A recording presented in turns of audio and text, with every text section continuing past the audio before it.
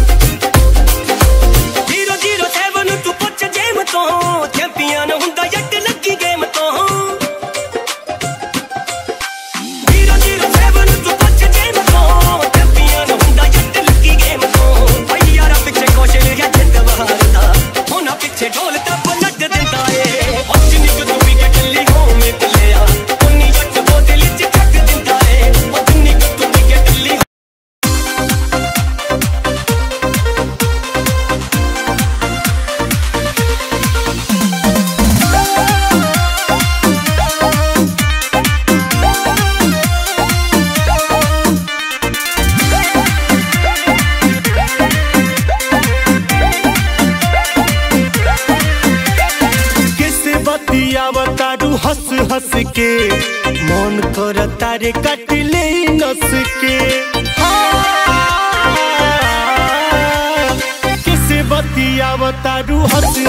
के हेलो दोस्तों, स्वागत है आपका अपने चैनल में और आज हम बात करेंगे एलियन कॉन्विनेंट मूवी के बारे में।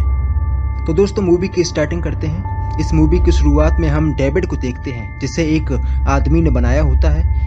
एक दिन डेविड अपने एक क्रिएटर से पूछता है कि एक बात मेरी समझ नहीं आई। मुझे आपने बनाया, तभी मैं इस दुनिया में आ पाया हूँ। लेकिन आपको किसने बनाया? तो वो आदमी कहता है कि इस बात का जवाब तो मुझे भी नहीं मिला। मुझे भी उस आदमी के बारे में जानना है जिसने मुझे बनाया है और जिसके लिए मुझे तुम्हारी मदद भी चाहिए। डेविड कहता है कि मैं आपकी मदद करने के लिए हमेशा तैयार हूँ और कहता है कि आपकी उम्र तो बढ़ती रहेगी और एक दिन आप मारे भी जाओगे। नमस्ते दोस्तों, आज हम आपके लिए लाए हैं फ़िल्म ब्लैक शिप को। जो साल 2006 में रिलीज़ हुई थी, इस फ़िल्म की शुरुआत थोड़ी सस्पिशियस है। इसमें सबसे पहले एक छोटा सा सीन दिखाया जाता है, जिसमें बेहद घिनौना सा दिखने वाला जॉम्बी शिप का बच्चा नज़र आता है, जो एक बॉटल से बाहर निकलकर लोगों को काटने लगता है। इसके बाद सीन शिफ्ट होता है और दिखाया जाता है एक परिवार को, जिसमें एक बच्चा हेनरी, उसके पिता और उसके भाई एंगर्स दिखाई देते हैं, जो शिप की फॉर्मिंग करते हैं। हेनरी इस काम में एक्सपर्ट होता है, जिसकी वजह से उसके फादर उसे लाइक करते हैं और उसकी काफ़ी तारीफ़ भी करते हैं। लेकिन आज हम बात करने वाले हैं मूवी दिबक की। फ़िल्म की शुरुआत होती है एक साइंटिस्ट से, जो अपने शिप की लैब में सुपर बग बनाने लगता है। इसका सबसे बड़ा कारण होता है कि भविष्य में इसको लेकर प्रोटीन की डिमांड काफ़ी बढ़ जाएगी। वो इस काम में लग जाता है और धीरे धीरे वो हाई क्वालिटी प्रोटीन बनाने में कामयाब भी हो जाता है, लेकिन उसकी मेहनत पर तब पानी फिर जाता है जब इस प्रोटीन के बनाने के बाद भी उसके सिस्टम में कोई खराबी आ जाती है और रेड अलर्ट दिखाई देने लगता है। इसके बाद जो नज़ारा दिखाई देता है वो बेहद भयानक होता है। दरअसल रेड अलर्ट के बाद सुपर बग्स बॉक्स से बाहर आने लगते हैं। इसके बाद वो साइंटिस्ट उन्हें हेलो फ्रेंड्स कैसे हैं आप? आज हम बात करने वाले हैं फ़िल्म कैबिन फीवर के बारे में, जिसके सबसे पहले सीन में दिखाया जाता है एक ऐसे इंसान को जिसका नाम हेनरी होता है। वो अपने कुत्ते को खाने के लिए कोई ना कोई जानवर शिकार करके लाता है। एक दिन वो अपने डॉग के लिए खरगोश का शिकार कर लाता है। लेकिन उसे एक ऐसा दृश्य देखने को मिलता है कि वो कुछ समय के लिए सदमे में रह जाता है। दरअसल उसे उसका कुत्ता मरा हुआ नज़र आता है, जो इन्फेक्टेड होता है। उसकी हालत इतनी खराब होती है कि उसे देखा भी नहीं जा सकता था। वो जब उसे छूने जाता है तो डॉग के ब्लड की कुछ छींटे उस पर पड़ जाती हैं। ये सीन यहीं रुक जाता है। अब दूसरे सीन में पाँच दोस्तों को दिखाया जाता है। वो एक कार में बैठकर मस्ती भर दोस्तों, स्वागत है आपका अपने चैनल में और आज हम बात करेंगे डोंट किल मी मूवी के बारे में। दोस्तों मूवी की स्टार्टिंग में एक कपल को दिखाया जाता है, जो कि राइडिंग कर रहा होता है। ये दोनों बॉयफ्रेंड और गर्लफ्रेंड होते हैं। लड़के का नाम रॉबिन होता है, लड़की का नाम मेल्टा होता है। लड़का आँख बंद करके गाड़ी चला रहा होता है कि तभी उसके सामने से एक ट्रैक्टर आ जाता है, लेकिन लड़का आसानी से कार को निकाल देता है और फिर वो माइल वाली जगह पर पहुँच जाते हैं। दरअसल दोस्तों, लड़की के घर वाले रॉबिन से शादी कराने के लिए मान नहीं रहे थे। क्योंकि रॉबिन बहुत ही ज़्यादा बिगड़ा हुआ लड़का था। आज हम आपके लिए एक नई फ़िल्म लेके आए हैं, जिसका नाम हॉलो मैन होता है। ये फ़िल्म 2000 में रिलीज़ की गई थी, इसे आज हम हिंदी में एक्सप्लेन करने वाले हैं। फ़िल्म के पहले सीन में एक साइंटिस्ट नज़र आता है, जिसका नाम सिबास्टर होता है। आपको बता दें कि ये पूरी फ़िल्म का मेन कैरेक्टर होता है। इस साइंटिस्ट ने कई सालों की मेहनत के बाद एक ऐसी मेडिसिन बनाया था, जिसके द्वारा किसी भी इंसान या जानवर को गायब किया जा सकता था। लेकिन वो इसका एंटीडोज बनाने में सफल नहीं हो सका था, यानी कि इस दवाई से गायब हुए लोगों को वापस नहीं लाया जा सकता था। वो अब इस पर काम करने लगा था, उसे इसकी खोज करते आज फ़िल्म जोकर की बात होने वाली है, जिसमें सबसे पहले एक शहर का सीन दिखाया जाता है, जहाँ अमीर और गरीब दोनों ही वर्ग के लोग एक साथ एक ही शहर में रहते हैं। ये पूरी फ़िल्म ऑर्थर नाम के एक शख्स की लाइफ पर बनाई गई है, जो अपनी माँ के साथ इसी शहर में रहता है। उसे कॉमेडी करना काफ़ी अच्छा लगता है। वो एक बहुत बड़ा कॉमेडियन बनना चाहता है। वो जोकर बनकर सभी को हंसाना चाहता है। वो इसके लिए अपनी कोशिश जारी रखता है। फिर एक सीन में दिखाया जाता है कि ऑर्थर एक कंपनी के एडवर्टाइजमेंट के लिए काम करने जाता है। इसमें उसे जोकर के रूप में एक साइन बोर्ड को लेकर रोड पर नमस्कार दोस्तों, हमारे चैनल में आपका फिर से एक बार स्वागत है। और आज हम नाव यू सी मी का पार्ट टू लेकर के आए हैं। तो जिस जिसने अभी तक पार्ट वन नहीं देखा है, फटाफट से जाकर देख के आओ। तो चलिए अब रिव्यू शुरू करते हैं। मूवी के स्टार्टिंग में हमें हॉर्समैन दिखाए जाते हैं, जो आई कम्युनिटी के मेंबर्स होते हैं। और वो लोग अपने सेकंड मिशन का इंतज़ार कर रहे हैं, जो उन्हें आई कम्युनिटी देने वाली है। इस मिशन में वो बुरे लोगों को एक्सपोज करते हैं और डायलन इनका लीडर होता है। लेकिन उसे लगता है कि वो एक परफेक्ट लीडर नहीं है। लीडर उसे नहीं, बल्कि डैनियल को होना चाहिए। इसलिए अब डैनियल खुद ही आई कम्युनिटी से जाके कांटेक्ट करता है। फिर वो एक अजीब सी टनल में जाता है, जो उसके मुताबिक आई कम्युनिटी का सेंटर था। लेकिन यहाँ आने पर